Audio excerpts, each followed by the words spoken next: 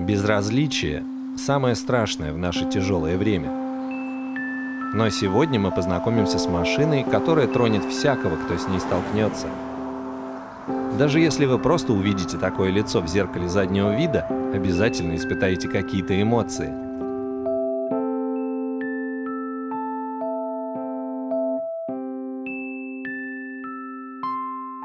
Работа с Toyota досталась мне случайно, я просто подменял коллегу. Но мне ни капельки не жалко потраченного времени, потому что эта встреча вдохновляет.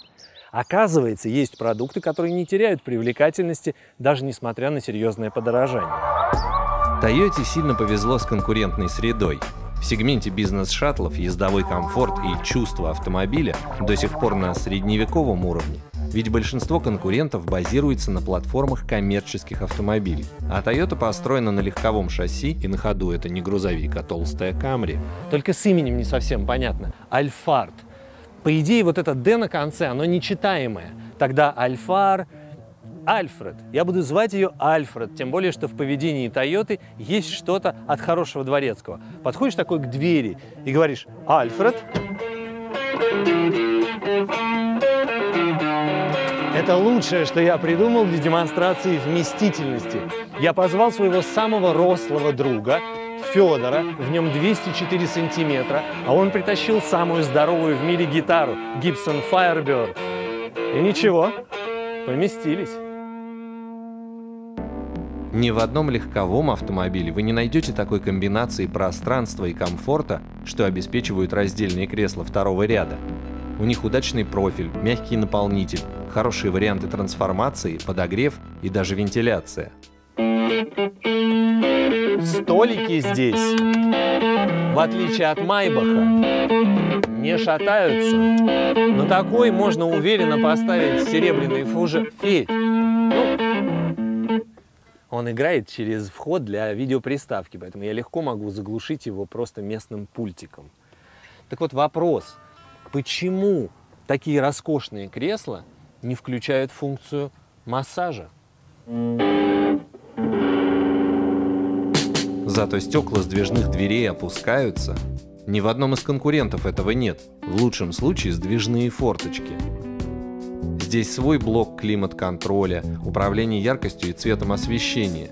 Самое интересное, что даже при полностью отодвинутых креслах второго ряда за Федором остается место для его гитарного техника и случайного прохожего. Обычно никому нет дела, каково это управлять автомобилем такого класса.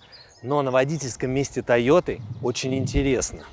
Тем более, что в отличие от конкурентов, за рулем Альфарда гораздо легче представить себе человека, который такую машину купил.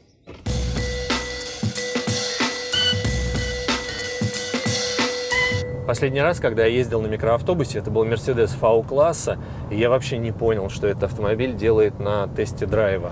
То есть, ну да, это экзотика, побыть немножко водителем автобуса, но мы же не пишем про коммерческую технику. К Альфарду вопросов нет. Здесь все по-легковому. Расположение органов управления, геометрия посадки, главное поведение. Машина адекватно ускоряется, адекватно тормозит, хорошо следует за рулем. Нет ощущения, что ведешь огромного монстра. Легко представить, что сидишь в большом кроссовере, в том же Хайлендере, например. Управляется Альфар так же просто и понятно, как любой другой автомобиль на этой платформе. Ну, с поправкой на возросшую массу и более высокий центр тяжести. Но чисто тойотовская адекватность, она здесь. Вообще это странно, что я обсуждаю нюансы управляемости такой машины. В этом есть что-то такое фундаментально неверное – но это только комплимент инженерам.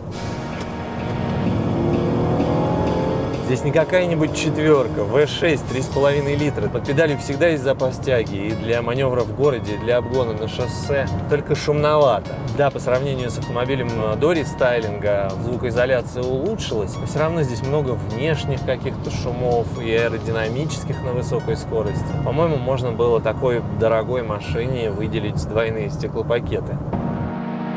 Тут вообще есть примеры странной экономии. Нет вентиляции передних кресел, нет камеры заднего вида. Ну как ее здесь может не быть? Есть свой минус и у легкового происхождения Toyota. Она уже, чем Mercedes V-класса или Volkswagen Multivan, и в России всегда шестиместна. Немцы могут увезти и восьмерых, но это тот случай, когда важнее не сколько, а как.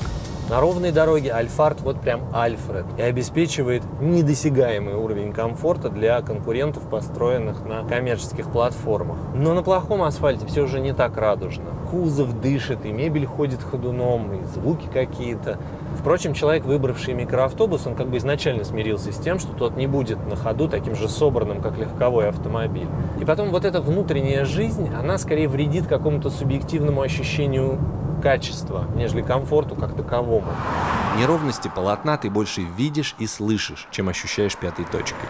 Есть еще одно положительное качество, которое сложно сформулировать. Это некое очарование продукта для внутреннего японского рынка. 乗るという最初の動作からアルファードのおもてなしは始まっています Боже, какие варианты стайлинга предлагаются для Альфарда дома. А еще там есть гибрид и, главное, полноприводная версия. У нас ведь после цены сразу спрашивают, сколько у Тойоты ведущих колес. Увы, только два передних.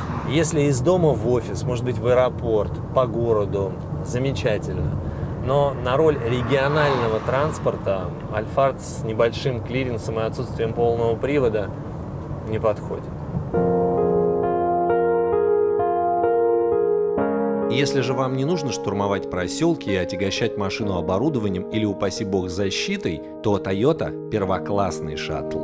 А уж редкий покупатель семейной версии Мерседеса V-класса обязан заглянуть в Toyota, просто чтобы знать, сколько уюта положено за такие деньги.